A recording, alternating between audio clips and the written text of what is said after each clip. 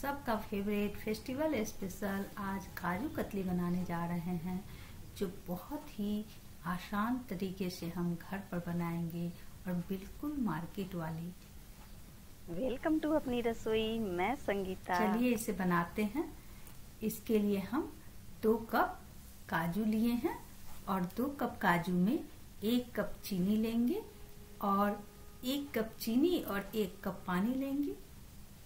काजू को सबसे पहले हम पीस लेंगे।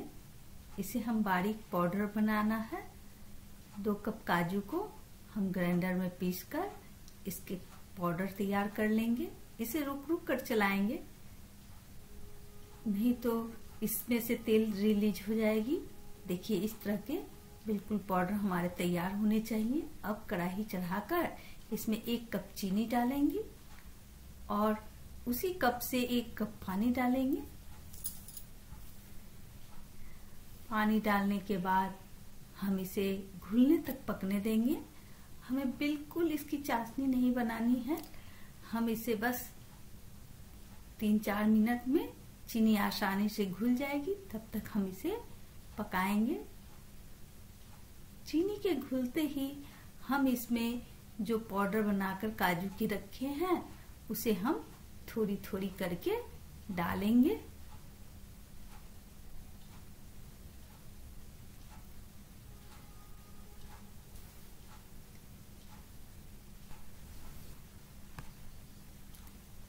चीनी जब अच्छे से मेल्ट हो जाए, तब हम थोड़ी थोड़ी काजू के पाउडर डालकर इसे मिक्स करेंगे। और हमें बिल्कुल इसके लम्स वगैरह नहीं रहने चाहिए। मीडियम फ्लेम पर इसे हम चलाते हुए मिक्स करेंगे और तब तक मिक्स करेंगे जब तक कि इसके सारे गुठली लम्स वगैरह समाप्त न हो जाए। आप इसको लगभग, इसमें बनने में समय 10 मिनट लगेंगे। इसे बिल्कुल चलाते हुए ही पकाएँ, नहीं तो ये अंदर चिपक जाएगी और अच्छी नहीं बन पाएगी, इसलिए हम इसे बिल्कुल चलाते हुए पकाएँगे। बहुत कम समय में ये मिठाई बन जाती है और घर पर बिल्कुल ताजी और शुद्ध मिठाई होती है और इसमें दो ही चीज़ का इस्तेमाल होता है, चीनी और काजू। बस दो चीज़ मिलाकर हम इतनी स्वादिष्ट मिठाई घर पर बना सकते हैं जो आप विश्वास नहीं करेंगे। घी लगती है लेकिन बहुत कम मात्रा में और इसे पकने में भी ज़्यादा समय नहीं लगती है। देखिए, अब ये पेस्ट जो है कढ़ाई में छोड़ रही है। जब ये पूरी तरह से कढ़ाई छोड़ने लगे, तब तक हम इसे चलाते हुए पकाएँगे और इसे बस इस स्टेज में हम गैस के फ्लेम को ऑफ़ कर देंगे और इसे मिक्स करके हम इसे ग्रीस की हुई थाली में पलट लेंगे। थाली को हम घी से ग्रीस करेंगे और रेडी रखेंगे, क्योंकि इस प्रोसेस में बहुत ही हमें झटपट करना होता है, नहीं तो ये अगर ठंडा पूरी तरह से हो गई तो जम जाएगी। देखिए, जब इस तरह रिवन कंडीशन में आ जाए, तब हम गैस की फ्लेम को ऑफ़ करके और थाली में ट्रांसफ़र कर लेंगे।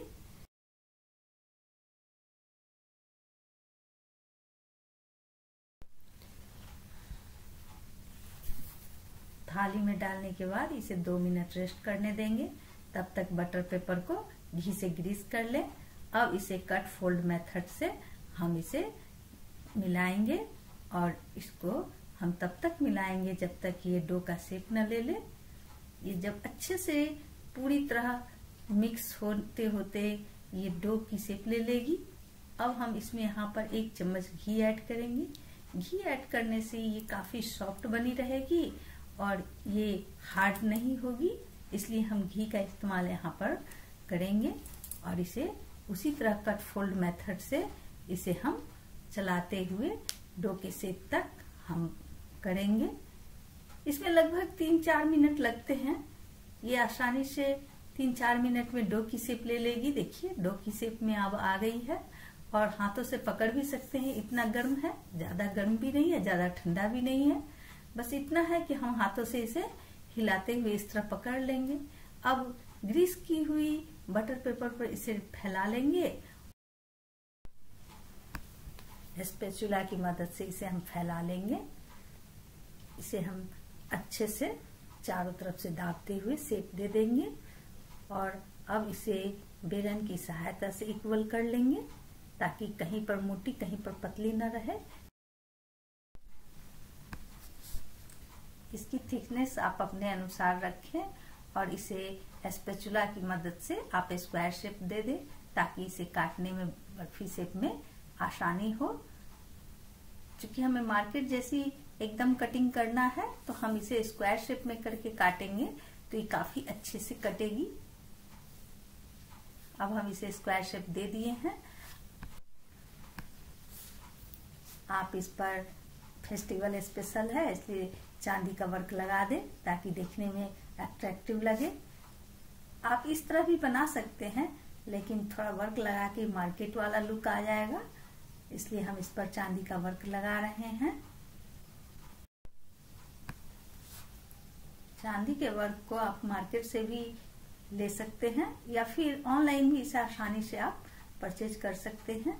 अब एक घंटे सेट होने के बाद हम इसमें कट का निशान लगाएँगे, और इसे आप मन चाह शेप में काट सकते हैं। हम इक्वल होने के चलते इसे स्केल की सहायता से काट रहे हैं।